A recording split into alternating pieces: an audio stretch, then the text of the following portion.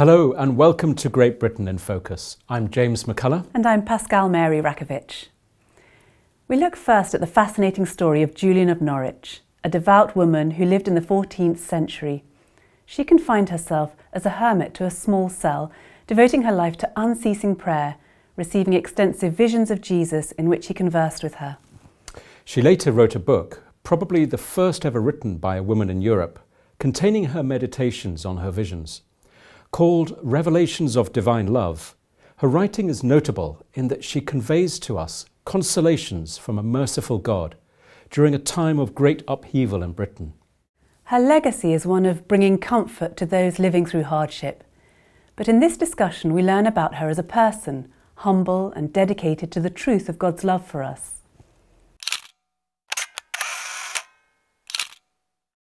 Welcome back to our History of Christianity series. Let's now fast forward to the 14th century, Joanna. The time is around 1340. We have got uh, the Black Death just about to really kick in into Britain. It's already gone through Europe. Almost a third of the population of Europe is going to be wiped out. It's also the time just after the, or during the Hundred Years' War. The Battle of Crécy has just happened. These are troubled times there's also other events going on in, in Britain which are very unsettling. Uh, the throne of Richard II had just been wrested away by Henry IV. We've got the Peasants' Revolt. We've got the Lollards. These are events which are really put down with savagery by the state. Troubled times, but there is a shining light. Who is it? The shining light in these very dark times is Julian, Julian of Norwich. We don't even know her real name. She takes her name from this church, St. Julian's Church here in Norwich, and she actually lived here. Or rather, she lived in a cell embedded in this church. Because during these dark times, when she was about 30, so we're now going to about 1370, 1373, having suffered as a young woman, we think she may even have been married and lost children in the Black Death suffering along with everybody else, she had a deep calling from God to live a life of that of a hermit, to live a mm. life of consolation to others and prayer to God, alone, without any of the normal consolations of family or even of a religious community. Here.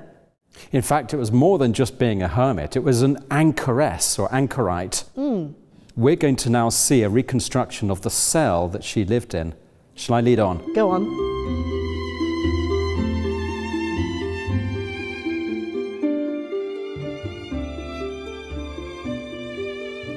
So here we are, this is it. This is the reconstruction of her cell. Now, the original cell would have been much smaller, only 12 foot by 12 foot. Very small space to live in.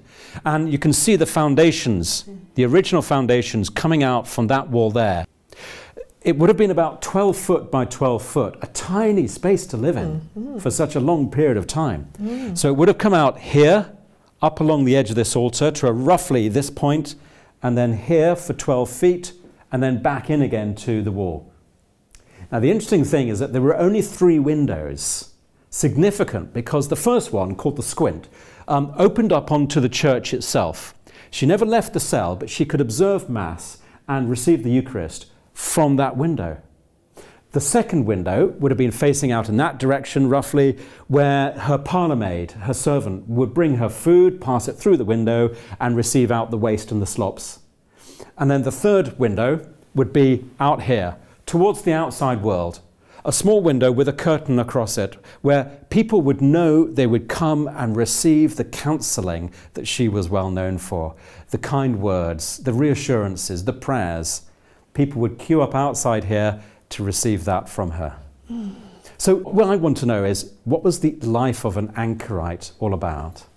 I think it's something that we can't really understand, except that in the church today we do have enclosed religious communities of mm. sisters.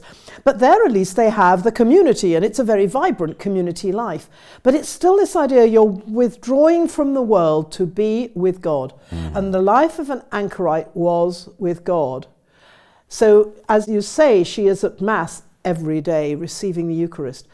But she spent hours and hours in prayer. She didn't even do any cooking or cleaning. The food mm. would be brought to her. So there wasn't even that distraction of, you know, as it were, doing the ironing. Sure. she didn't, as far as we know, write letters, although she did write. She wrote the first book to be known by a woman in English. So her writings were a reflection of the visions that she received. She received 16 visions in one night in around about the year uh, 1373. These visions were of Christ standing before her, bleeding. And she spoke to Jesus in these visions, and he answered her. And she had a lot of um, questions answered.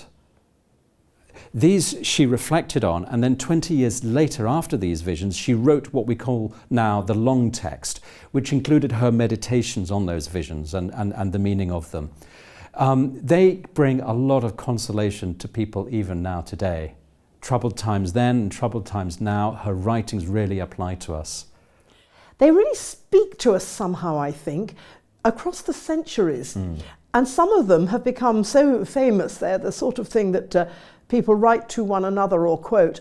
I love the bit where she says that Christ didn't say, you, you will not be tempted, mm. you will mm. not be distressed, you will not uh, be anguished, but you will not be overcome. Yes. You know, there is a strength in it. And from your description, there's this idea that her teaching is tough. It's tough because Christ really was crucified. It mm. wasn't a gentle thing. And her own life, of course, was also, well, you could say, tough. Very. I mean, yes. here in this cell alone. Yeah with people pestering you at the window, perhaps when you were deep in prayer, yeah. and people, somebody kind, your maid bringing you food. But this isn't an awful lot of fun, is it? There's no suggestion that it's a roaring log fire and a comfortable library. Not at all. It was this a life as asceticism mm. and almost hankering back to the early church fathers. And I think this yes. is what anchorites were all about. Um, there were about a hundred of them in the sort of uh, 12th century, and then it started to increase to about 200 people. Uh, interesting, interestingly enough, there were always far more women anchoresses than there were men anchorites. And it continued right up until the late uh, 15th and early 16th century. Um, the whole idea of people shutting themselves away, a life of asceticism, uh, praying and giving counsel to people. And it does go back to the desert fathers. The idea of a hermit is very much in our, mm. in our tradition. And the idea, too, that what they do full time, one could say prayer, we should also, in some measure, do. We should also, you know, retreat and give time to the Lord. And they're giving the, the example, that, that absolute commitment. It kind of does make sense, although it sounds pretty tough to us. Yes. And people still come here here to this cell and had that sense of wonder I think that, that we experienced as we as we walked in. Absolutely. It's, uh, it's rebuilt because the church has got its own story. Yes, tell us about that story. Yes, well, this bit is interesting. This is an ancient church, but it was savagely bombed in mm. the hmm. Second World War, virtually right. destroyed. And the door through which we came is actually Norman, but taken from another bombed church. They brought that Norman archway with its curved arch to this church when it was rebuilt. Right. Rededicated in 1953 after the Second World War. I see. And then they reconstructed this cell. And it's extraordinary because people are drawn to this corner of Norwich, and there's a great many other things to see in this city, because it's Mother Julian, because it's Julian. And this is her cell. Mm. And the church itself is very loved and, and, and well cared for. And people are drawn to it, but they're drawn particularly to this cell. And I think they have, as we had, a sense of wonder as you walk down the steps and and this is where she was. This really is where she was, with the window out to the wider city. Yes. So Norwich is quite a quiet place now in comparison to what it used to be. It was the second largest city outside of London in her day and a bustling commercial centre. And one reason why the Black Death affected this city so badly at that time is the wave of commercial migrants coming in from the continent um, purely to be in Norwich where the, so much trade was happening. Um, that's what made it quite an unusual place. Now it's a little bit quieter than it was, but still it draws visitors for a different for reason. A different reason.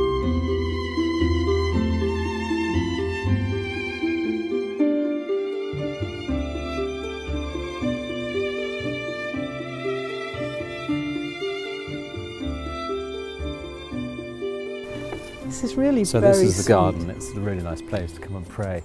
Very quiet, And isn't it? It is, yes. Even in the middle of the city and all that. Yes. Absolutely. So just round here to the right is we've Oh. got the squint Mhm. and the actual place where she would have had her cell. So this is where her window out onto the world would have been. And this is where people would have come to seek her counsel. So tell us a little bit more about the person, Julian. I think she was quite a wise woman. I think she was not an ill educated uh, peasant. The fruit of her wisdom was the fruit of pondering that vision.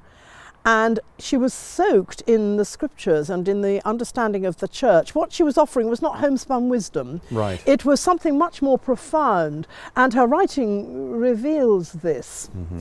I think there was something that indicates this was not just a sort of peasant woman who had a, a vision one time. This is somebody who chose in a response to God to, to lead this life. She must have been a woman of some modest means because she had somebody to help her to bring the bread and so on. So she up. would have had an income of some sort from somewhere, maybe. I think so, some family money or as a widow. It's possible people would have given her donations, but equally possible, she certainly they would have been very modestly used because she simply went on living in this hermitage. So there's no suggestion she made money. I, I wonder whether she didn't have some money of her own. And there's a sense in which she's often referred to as a sort of Lady Julian, as if hmm. somehow there was some understanding. And of course, we don't know her name. She's taken No. the name Julian. Isn't that touching? It's modest as well. She didn't want to be known. She didn't. She wanted to be quite anonymous. Yes. She was quite a humble woman, I believe. Her words were, um, "She could no letter," which means that she's illiterate, Yeah. and clearly she's not. She's our first uh, English-speaking authoress uh, that we know in history. It's a very attractive mix. This wisdom, something rather scholarly, hmm. but genuinely humble, message for today, where we all think it's me, me all the time. And yet, and yet, all these years later, all these years later, we have her wisdom, and we think of people perhaps jostling round, taking turns. You Yes. know, well, there's something awfully sweet about it, and also that peaceful heart of a big city. There's something about all of this which is immensely attractive. And she lived to a great old age. She died in her 70s. Yeah, about seventy-five, roughly. Um, Mm. So there's a story there about a simple, prayerful way of life. It doesn't seem to do you any harm, you Mm, know. She lived mm. to a good old age, especially by medieval standards. mhm.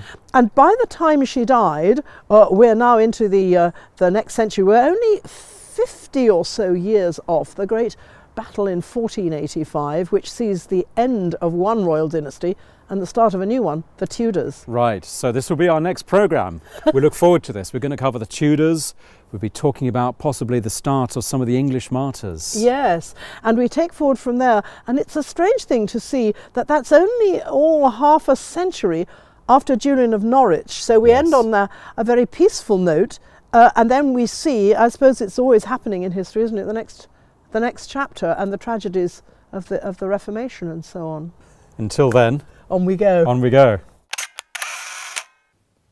We now hear Teresa Young speaking to us about her uncle, John Bradburne, an English Third Order Franciscan who was brutally killed in what is now Zimbabwe in 1979. Known as the Vagabond of God, he spent his life searching for God and devoted his final years to caring for those suffering from leprosy in appalling conditions. Let's hear about this man's life and his example of how to love.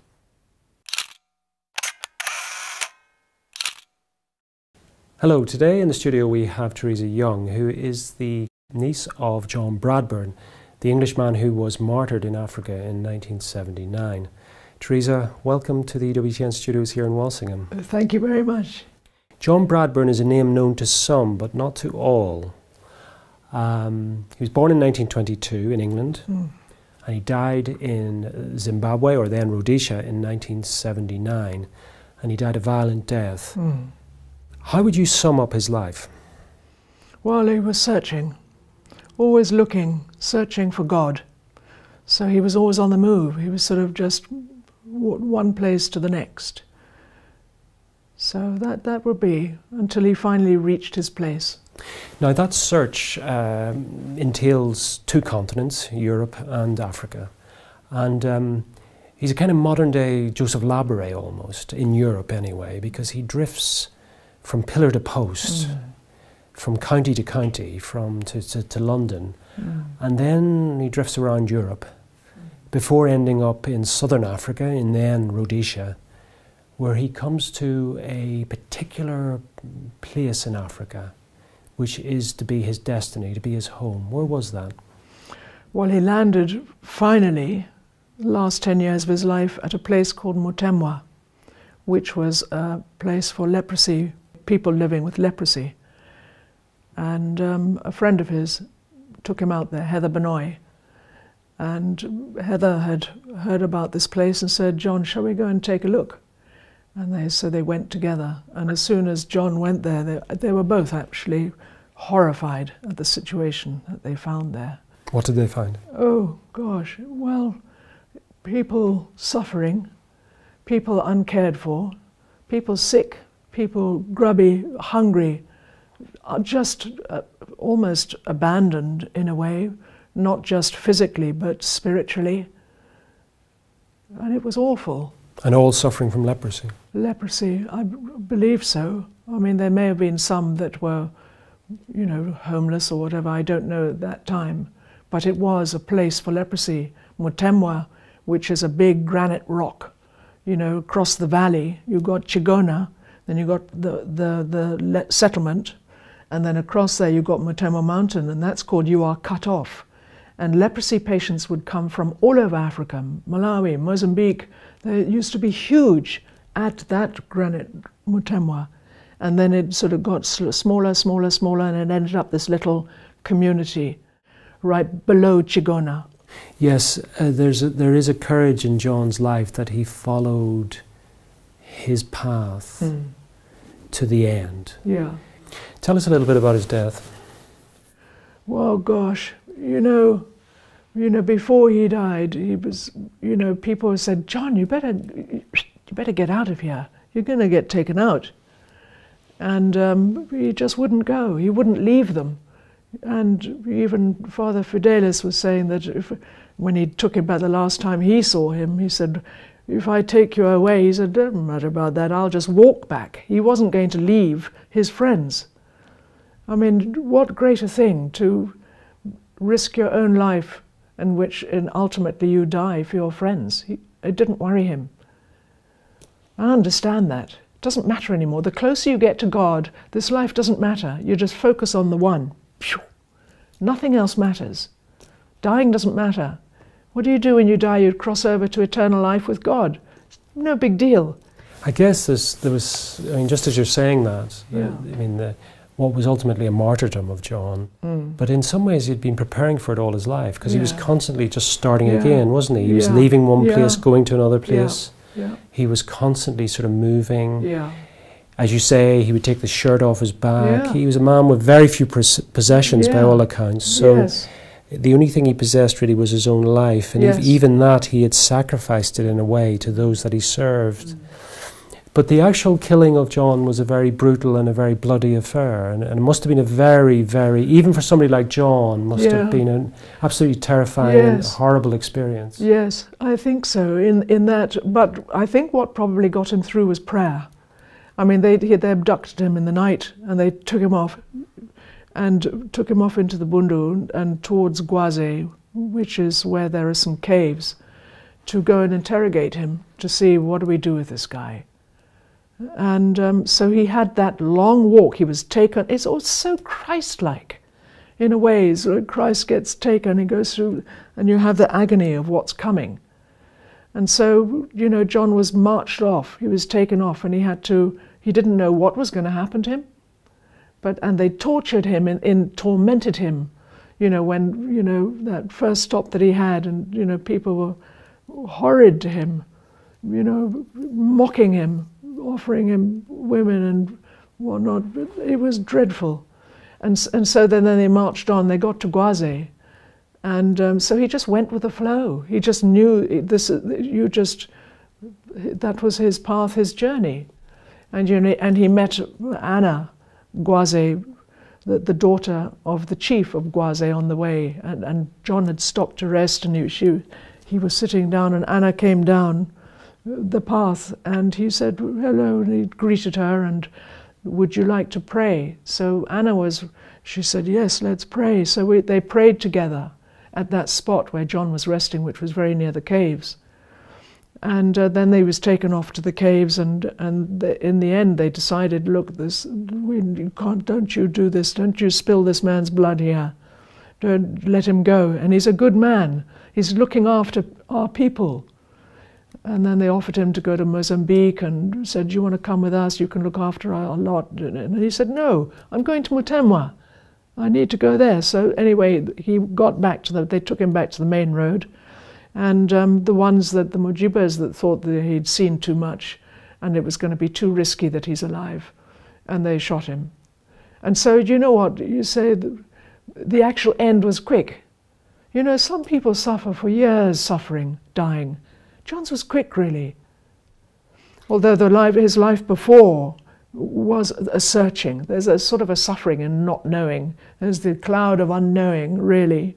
But um, the actual death, dead, gone. Do you think, was it one of John's desires to die a martyr death? Yes, definitely.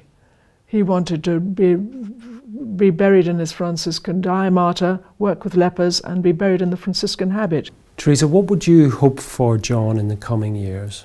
Well, I think first of all, he needs to be recognized by the church as a martyr because that's what he was. You know, when you're a martyr, you die, you, you won't abandon those who you, you know, his faith and those that he was looking after. So I think, number one, the next step, please, God willing, that he is recognized as the martyr. And from following that, then I think, you know, sainthood, canonization you know, but there's a process there, you know, so there needs to things that need to happen in, in that, and testimonies and miracles and that sort of thing. But they've got so many testimonies. They've got so many things that have happened, and they're happening all the time. You go to Mutemwa on the 5th of September, you climb up Chigona and do that all night vigil. The prayers, the testimonies, the papers that people you know, I get people saying to me, Did you know this? That John, this, this happened and this was sick and, and then it was better. You know, so the, all the testimonies are gathered. So now, because of coronavirus, it's, things had to slow down a little bit with, with interviewing these people. And so, but hopefully now it needs to pick up, it needs to go. So martyrdom and then it, the testimonies and, and ultimately to canonize him. And you know, it's, it's not what it, John was really, you know, if you read this in here that he wrote to Father Dove. Uh, I marked it out here, and this is really important to, to listen to this. It says, Pray on for my sanctification too. Now, this is a private letter from John to, from my Uncle John to Father John Dove. It's 25th of September, 1952. So he wanted it. He wanted to become a saint, but for this reason, not so much for the glory of John, although as a kid he used to be a little bit like that, but as a mature man it was more for this. Pray on for my sanctification too, because it would encourage so many souls, so encourage so many souls, if such a wreckage might come to canonization. And, uh, and then his humor comes in, and I do so want to bypass purgatory. But um, so it's really to encourage others. And I think that that is number one reason for, you know, making John a saint to encourage others. You know, let's go forward. Let's let's all go forward in love of in for God. You know the way He was, and let's care for for those who do not have anything. I would like to make one more point, if I may, if that's all right, Kevin. You know, we can't do this without support for the John Bradburne Memorial Society. We need support to go forward, to take John's cause forward. So, and that's based here in England, so please support the John Bradburne Memorial Society. Well, thank you very much, Teresa, for coming to the studios here in Walsingham. Thank you very much for your testimony about your, your uncle. Yeah. And uh, we pray too that uh, his great sanctity will be recognised by the Church and that his death will be a witness in these dark times, a witness to hope, to faith, and above all to love. So thank you very much for coming to the studios and talking about your Uncle John. Thank you. Thank you for listening. Full versions of these interviews will be made available soon on our social media channels. If you feel you would like to donate to support the mission of EWTN in Great Britain, please visit our website ewtn.co.uk. Thank you for joining us. Do join us next time. Goodbye and God bless.